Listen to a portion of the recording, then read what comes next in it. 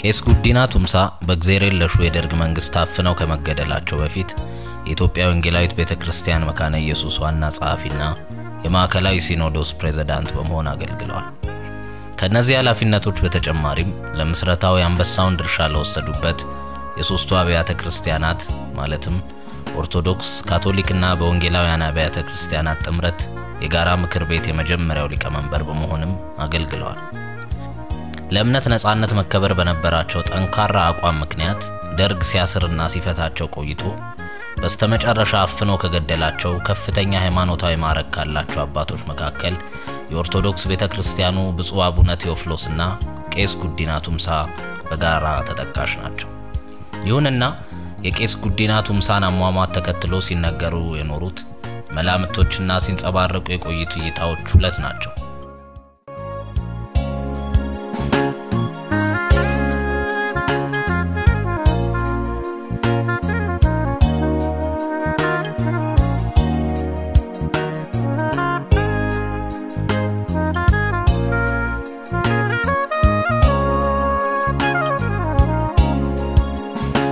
ከመላምቶቹ አንደኛው ቄስ ጉዲና ቱምሳ ደርግ ክርስቲያናዊ እምነትን የሚጨቁን መንግስት መሆኑን በድፍረት በመቃወማቸው ምክንያት ለእምነታቸው ሰማዕት ሆነዋል የሚል ሲሆን ሁለተኛው ትርክት ደግሞ በወቅቱ ከኦሮሞ ነጻ አውጪ ግንባር ኦነግ ጋር የድብቅ ግንኙነት ስለነበራቸው ነው የሚል ነው።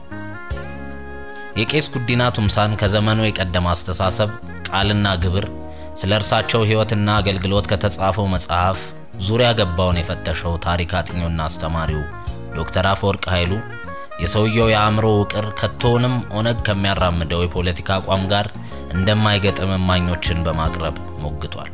ቄሱ ለማህበራዊ ፍትህ የነበራቸው መቆርቆርና ሚስዮናዊ አገልግሎታቸውን ሳይቃረኑ በጽናት የቆሙ ሰው እንደነበሩም አብራርቷል። ቄሱን ኦነግ ያደረጓቸው ሰዎች ናቸው ብሎ የሚያምነው ዶክተር አፈወርቅ ኃይሉ በወቅቱ ከነበረው የፖለቲካ ትኩሳት አንጻር ስለ ፌዴራሊዝም የነበራቸውን እይታ እንኳ ከጀርመን የፌዴራል አስተዳደር ጋር እንጂ ከኦነግ የፌዴራሊዝም እሳቤ ጋር ምንም አይነት መጋጠም እንዳልነበረውም አስረድቷል።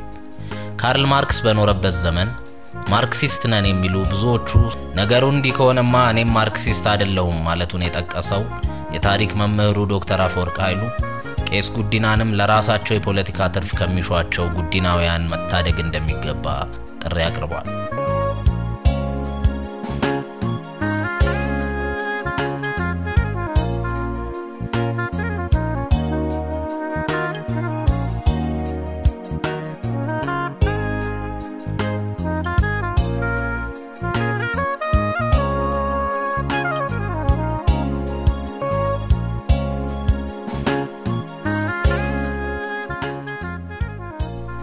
የቀድሞ የፌዴሪ ፕሬዝዳንት የነበሩት ዶክተር ነጋሶ ጊዳዳ ዳንዲ በተሰኘው መጽሐፋቸው ላይ በ1969 ዓ ም ቄስ ጉዲና ለቤተ ክርስቲያን ሥራ ወደ ጀርመን በመጡበት ወቅት እግረ መንገዳቸውን ከኦነግ መልእክት ይዘው መጥተው ነበር ካሉ በኋላ ሆኖም ከኦነግ ሴሎች በአንዱ አባል እንደነበሩ ሰምቻለሁ ማለታቸውንም ዶክተር አፈወርቅ ኃይሉ ፈጽሞ እንደማይቀበለው ገልጿል።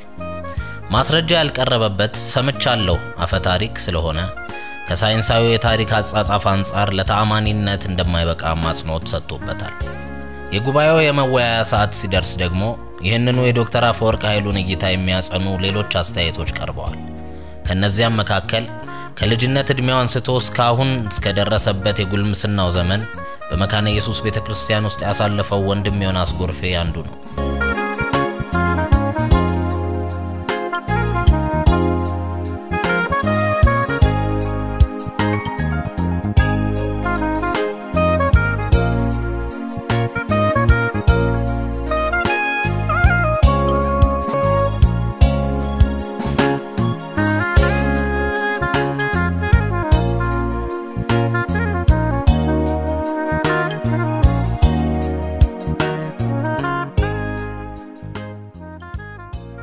ዮናስ ቄስ ጉዲና ቱምሳን በተመለከተ ከልጅነቱ ጀምሮ ሲሰማው የኖረው ትርክት ጥሩ እንዳልነበረ፣ ቄሱ ቤተ ክርስቲያኒቱን የኦነግ ዋሻ እንዳደረጓት እስከ መባል ይታሙ እንደነበር ጠቅሶ ስለ እርሳቸው ተዘጋጅቶ በነበረ አንድ ሲምፖዚየም ላይ እርሱ የሚመራው የዝማሬ ቡድን ሲጋበዝ አሻፈረኝ እስከ ማለት ደርሶ እንደነበርም አውስቷል።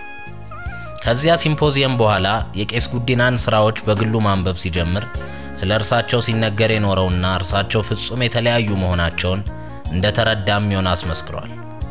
ንስሐ ገብቶ በእርሳቸው ሕይወት ዙሪያ የሚያጠነጥን ፊልም ለመስራት ዝግጅት ማድረግ ስለጀመረበት አጋጣሚ ያጫወተን ታሪክም ለእኔ በጣም አስገራሚ ነበር።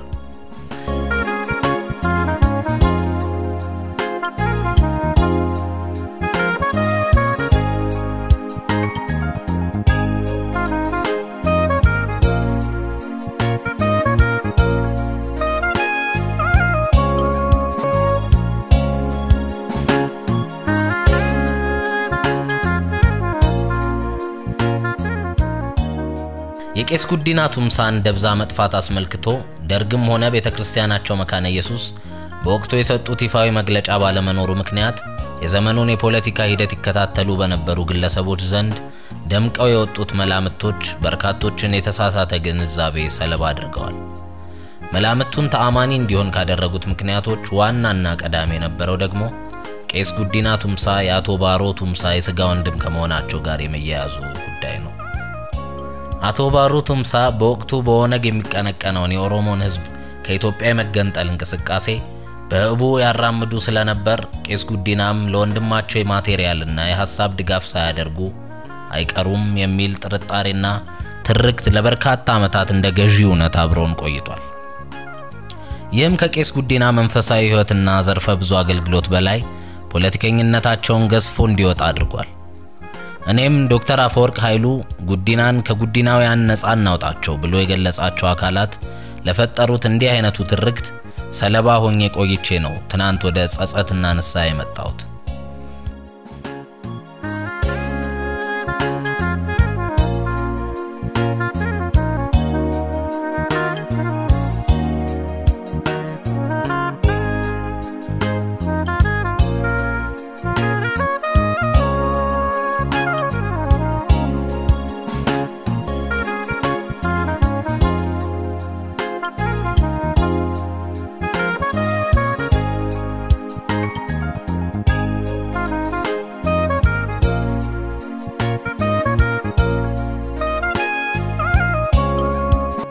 የመጽሐፍ ግምገማ መርሃ ግብሩን ታድማ የነበረችው የቄስ ጉዲና ቱምሳ የመጨረሻ ሴት ልጅ ሌንሳ ጉዲናም የአባቷን አሟሟት በተመለከተ ያንጸባረቀችው አቋም ከዶክተር አፈወርቅ ኃይሉና ከወንድም ዮናስ ጎርፍ አቀራረብ ጋር ተመሳሳይ ነው።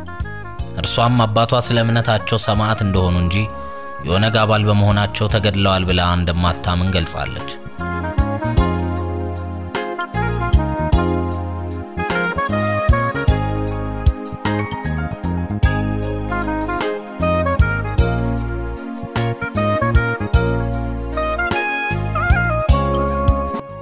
ሌንሳ ይህን እምነቷን ሰው ላይ ከመጫን ይልቅ ስለ ቄስ ጉዲና ማንነት ማወቅ ለሚፈልግ ሰው ቀላሉ መንገድ መጽሐፍቶቻቸውን መመርመር እንደሆነም ጥቆማ ሰጥታለች።